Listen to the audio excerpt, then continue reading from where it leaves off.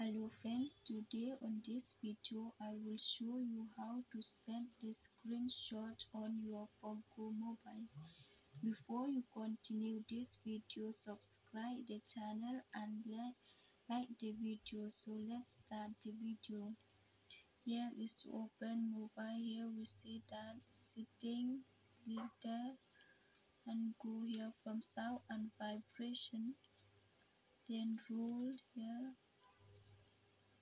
additional setting then you show that uh, play sound uh, when talking screenshot. You can on that screenshot or you can off like this.